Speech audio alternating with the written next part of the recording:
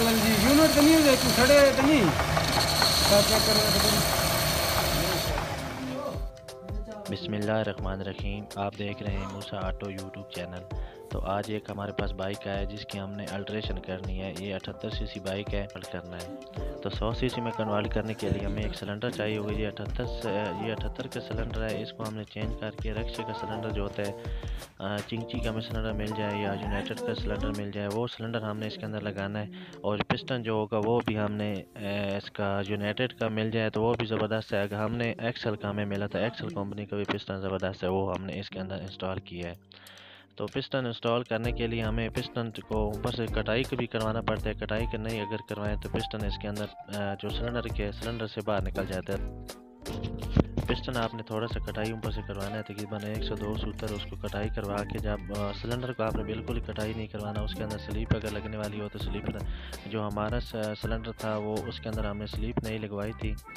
تو اس کے بعد جو ہم نے اس کی ہاف کٹ جو آپ نے استعمال کرنی ہے، وہ آپ نے سیونٹی بائک کی ہاف کٹ، آپ کی بائک میں نہیں لگے گی، آپ کا گیس کٹ اور جو سلنڈر والا جین ہے، وہ چنگچی کی ہاف کٹ مکمل آپ اس کے اندر فٹ کریں گے۔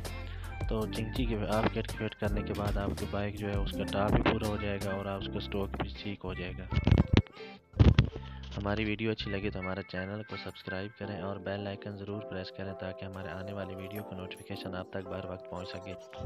بائک کے متعلق آپ کو کسی قسم کا بھی سوال پوچھنا ہو تو آپ ہم سے واٹس ایپ پہ رابطہ کریں۔ ہمارا نمبر ڈسکرپشن میں ہوگا۔ بائک کے متعلق کسی قسم کا بھی سوال ہم سے پوچھ سکتے ہیں۔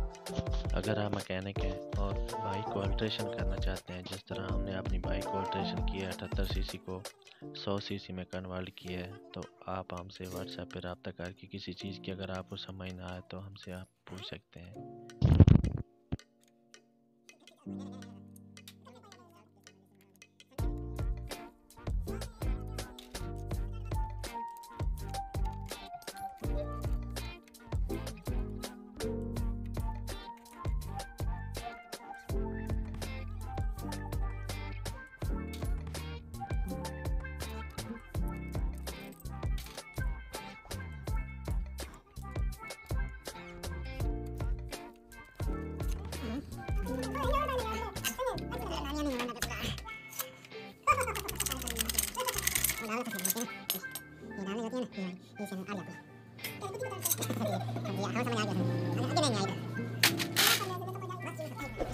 سبسکرائب کیجیے ہمارے چینل کو اور بیل آئیکن کو دبائیے ہماری لیٹسٹ ویڈیو سب سے پہلے دیکھنے کے لیے